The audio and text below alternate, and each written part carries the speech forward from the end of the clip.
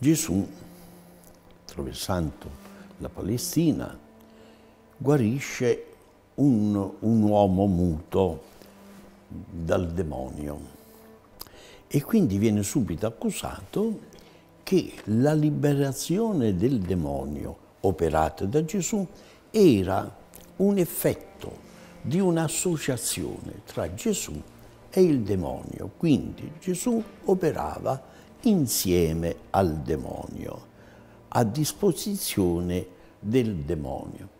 E Gesù fa un'osservazione molto semplice.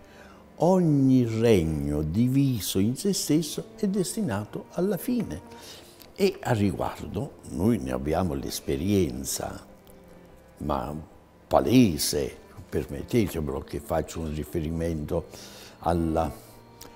all'ultimo congresso del, del PD e si sono lottati all'interno, si sono scissi, si sono divisi. Ma speriamo che si salvino. Però ogni divisione all'interno di un organismo, di un'azienda, ogni divisione, discordia nell'interno di una famiglia significa distruzione della famiglia, distruzione dell'azienda.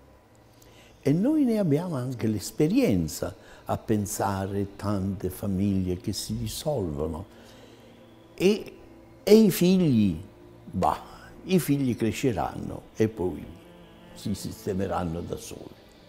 No, non è così. Gesù ha parlato chiaro. Ogni regno diviso in se stesso è destinato alla fine. Quali sono le armi per combattere.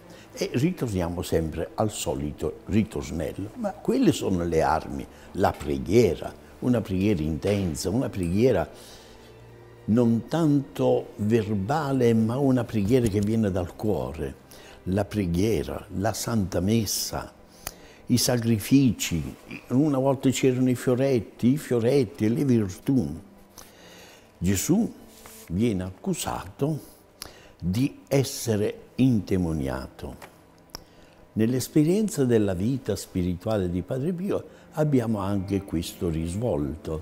Padre Pio viene accusato di essere intemoniato. Può sembrare una frottola, può sembrare un'idea strampalata che passerà, invece non è così. Una delle, diciamo, delle motivazioni per cui la Santa Sede in modo particolare il Santo Ufficio prende dei provvedimenti su Padre Pio, partono proprio in base a questa diceria. Padre Pio è indemoniato, per cui ci si metteva l'interrogativo, ma se indemoniato, come celebra la messa?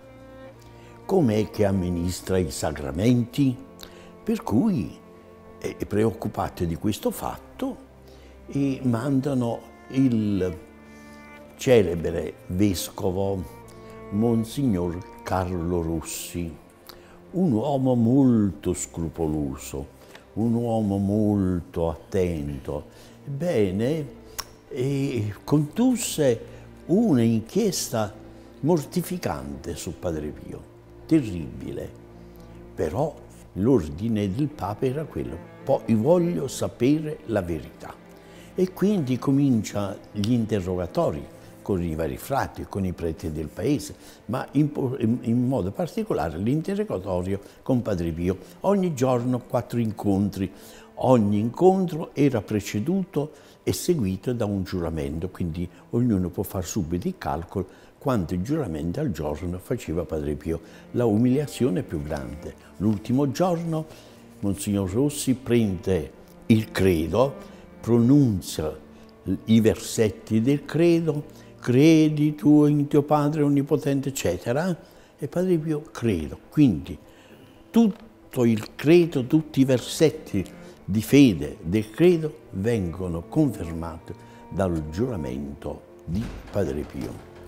A questo punto Monsignor Rossi ritorna a Roma e fa una relazione bellissima su Padre Pio.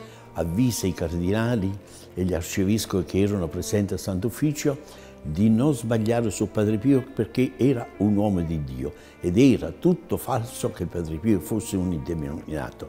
La storia dice che a sentire questa espressione tutti si alzarono in piedi e dalla gioia cominciarono a battere le mani. Allora Padre Pio non è indemoniato. Frutto della massoneria si credeva che Padre Pio fosse indemoniato.